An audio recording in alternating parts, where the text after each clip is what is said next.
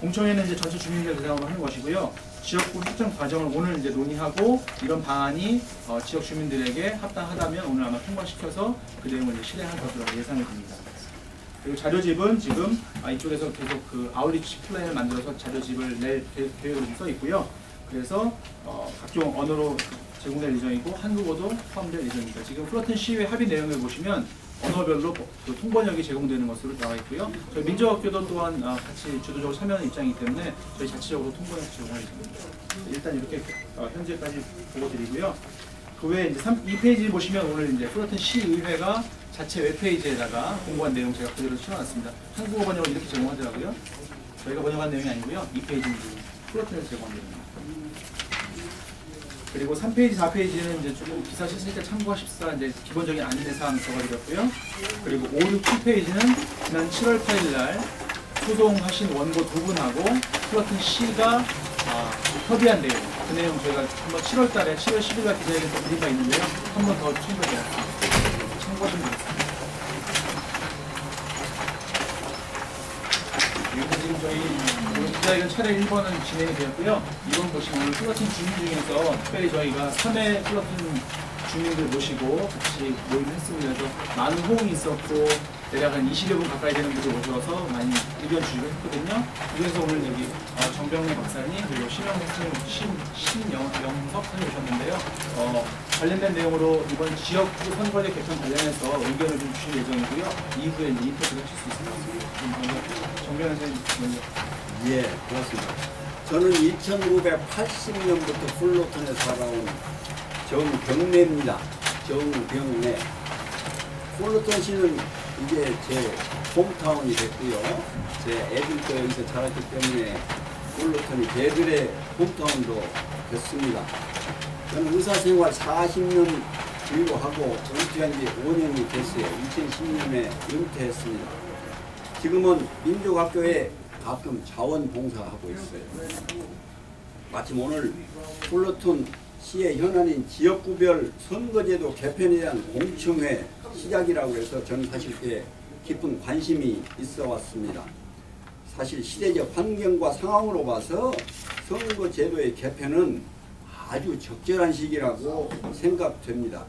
우리 모두 합심해서 시의회 의원들, 플로톤 시의회 의원 다섯 분이 되는데 그분들을 잘 설득하고 이해시켜서 우리 선거구 개편, 구역 개편에 도움을 바라는 그런 심정이에요. 그 사람들이 우리보다도 더 이런 그 현실적인 상황을 더 알겠지. 그분은 정치여신 분들이고 우리는 사실은 정치하는 사람들이 아니라 잘 모르지만은 그 사람들의 도움이 참으로 필요하기 때문에 이런 공청회 시작을 시작으로 시작으로 해서 그분들 관심도 갖고 또 그분들이 플로턴 시의회 아, 그 시의회 회의를 거쳐서 시민들한테 개몽 개, 개몽이라고 그러나 이런 걸 시켜서 예 시켜서 우리 의사대로 좀 뭐가 잘 돼갔으면 그런 생각이에요.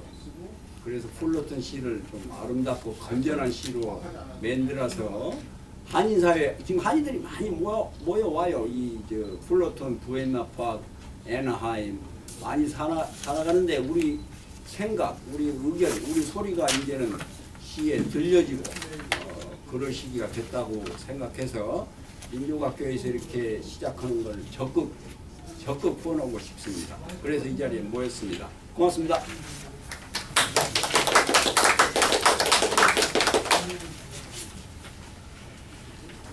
네, 저는 어, 신영석이라고 합니다. 제가 어, 플러톤 그 지역에서 부동산을 한 20년 하고 있는데 현재 그 플러톤의 그 선거 제도를 보면 전체에서 다섯 명의 시의원을 뽑- 뽑거든요. 그래서 소수민족들한테는 상당히 불리한 지금 그런 조건이 되어 있습니다. 그런데 어, 플러톤의 어, 전체 인구 14만 중에 한인 인구가 10%가 넘게 살고 있는데 그분들이 다 이 서쪽으로 많이 모여 살고 있거든요. 그래서 그런 어, 플러턴 전체에서 시의원을 뽑는 것보다 이걸 다섯 개를 나누어 가지고 이 한인들이 많이 사는 그 지역의 선거구를 소선거구를 만들면 우리 한인들의 목소리를 높일 수가 있고 우리 한인 후보를 또 뽑을 수도 있고 또 준비된 한인 후보가 없으면 우리 한인 사회를 위해서 어, 협조할 수 있는 그런 시의원을 뽑을 수 있기 때문에 특별히 이번에 민주각부가 그런 음, 의견을 발휘해서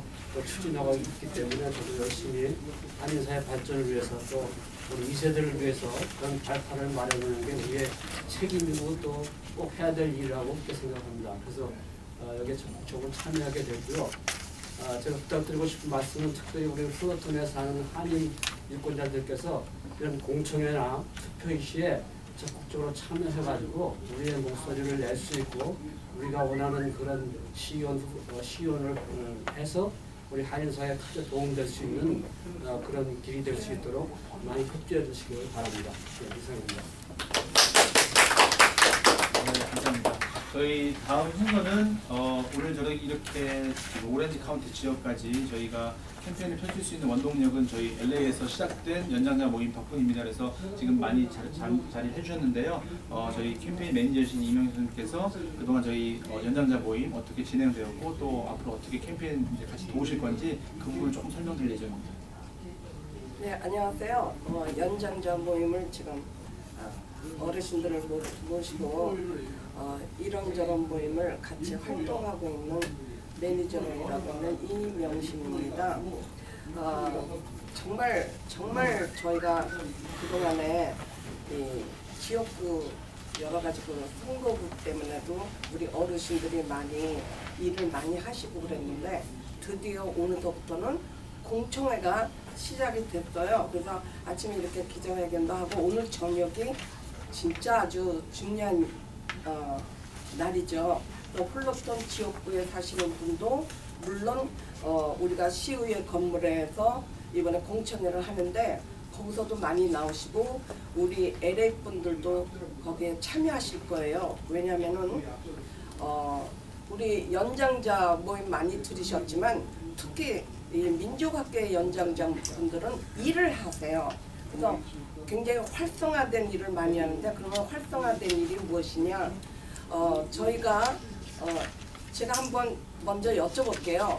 어, 기자분들 지금 LA 구역이 몇 구역으로 나눠진지 아세요?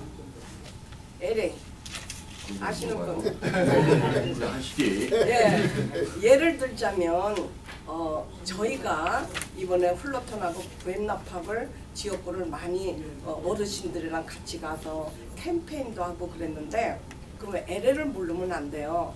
그래서 이런 거 저런 거 우리가 지역구 그 공청회 할 때도 우리가 많이 배우고 또 거기에 대해서 논의도 하고 그런 모임을 저희는 가져요. LA 구역은 15구역이고 시의원은 15명입니다.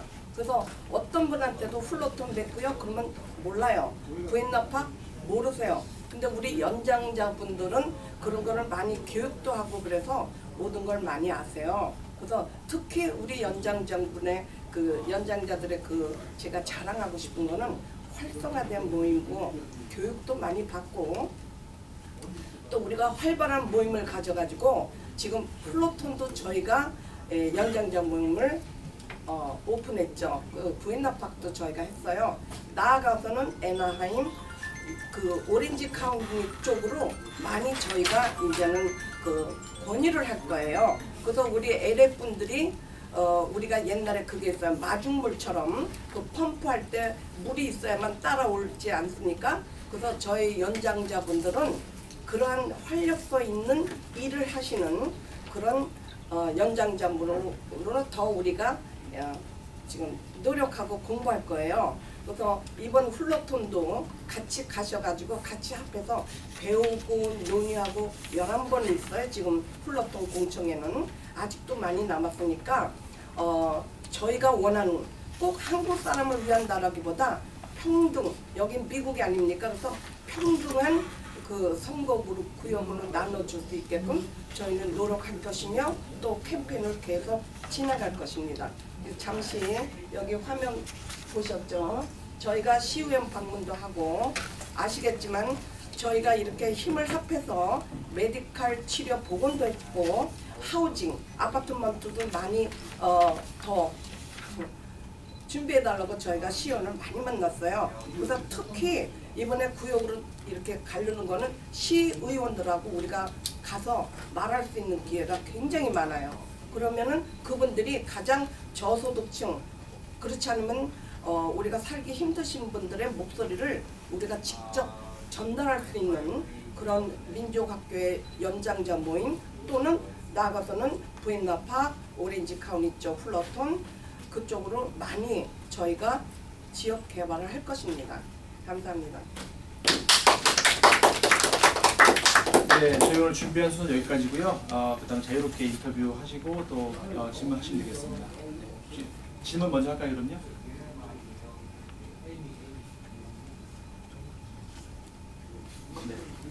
질문 없으시면 네. 필요하신 대로 아니 하겠습니다. 오셔서 너무 감사하고요.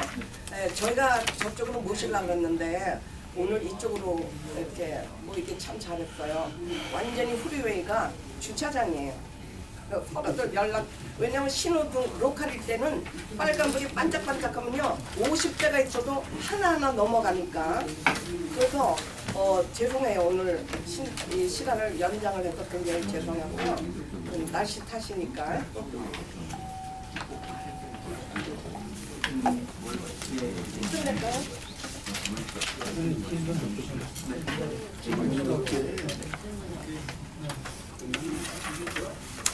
질문 없으시면 끝낼까요? 네, 네, 네. 끝내시고 자유롭게 인터뷰 하시면 됩니다.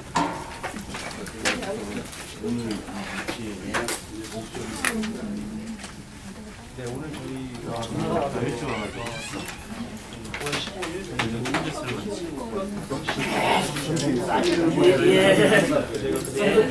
아, 예. 네.